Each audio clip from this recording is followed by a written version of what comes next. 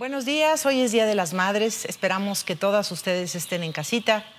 Si su mamá está lejos, por favor no la visiten. Estamos en una etapa de contingencia sanitaria, pero no por ello no vamos a dejar de celebrar.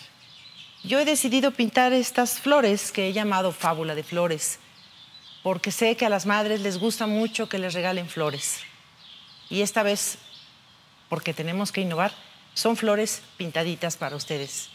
Les deseo con mucho cariño que estén muy contentas, reciban llamadas de sus hijos, de sus nietos y que tengan un día feliz esperando los mejores tiempos.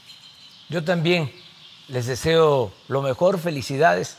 Hoy, 10 de mayo, felicidades a las mamás, a las madres, a las abuelitas, a las que nos acompañan y a las que se nos adelantaron, a las que cerraron sus ojitos, pero nos dejaron su cariño, su amor.